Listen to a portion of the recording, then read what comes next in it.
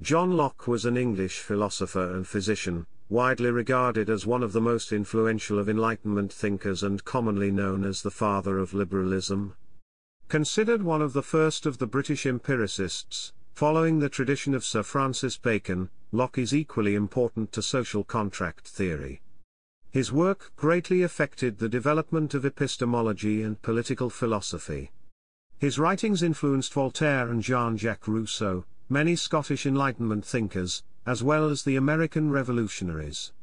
His contributions to classical republicanism and liberal theory are reflected in the United States Declaration of Independence. Locke's theory of mind is often cited as the origin of modern conceptions of identity and the self, figuring prominently in the work of later philosophers such as Rousseau, David Hume, and Immanuel Kant.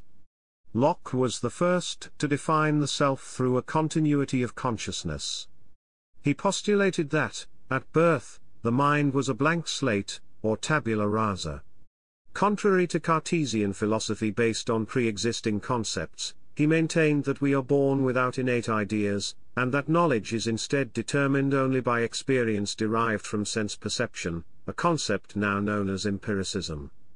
Demonstrating the ideology of science in his observations, whereby something must be capable of being tested repeatedly and that nothing is exempt from being disproved, Locke has said that whatever I write, as soon as I discover it not to be true, my hand shall be the forwardest, to throw it into the fire.